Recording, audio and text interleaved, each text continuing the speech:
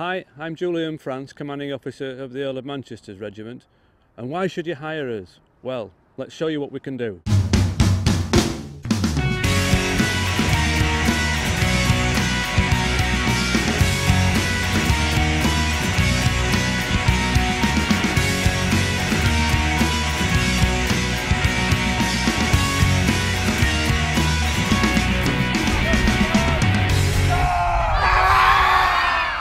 When people hire us, uh, they hire us, well, for something different, a spectacle. For uh, a small uh, living history encampment, uh, a day's event, uh, a school you know, event that we have sometimes, uh, or a battle, or even a, a large muster. You know, we can cater for all those needs. They get a group of passionate people who are portraying a period in time, 17th century, and it's it's really, really, uh, you know, involving. It it, it, it absorbs people. Um, there's uh, noise, there's atmosphere, and it's just something that's totally different to you not to the normal. I'm Historic Interpretation Manager for the Peterborough Cultural and Leisure Trust, otherwise known as Vivacity, and I organise the Peterborough Heritage Festival. I, I was very impressed. Uh, Living History sort of site was excellent. Um, the guys there, very good with the public, uh, very interactive. The arena display was very, very good, well thought out.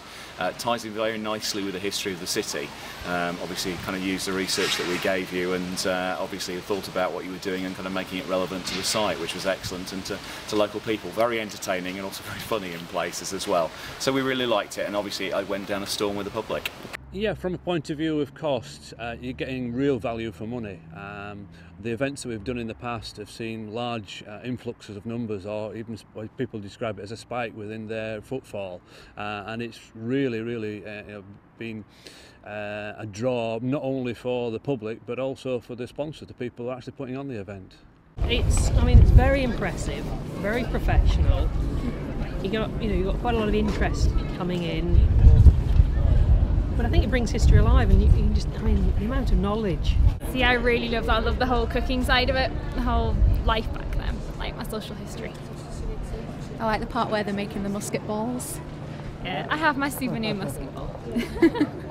I'm Chris Bates, I'm a history teacher at Kimbolton School. I came in and did a session with a group of our students who are in this year eight, who are studying Elizabethan history and, and Civil War history this year. So gave them a, a hands-on experience of the um, what it's like to be a, a soldier, pikeman, musketeer in the um, Civil War.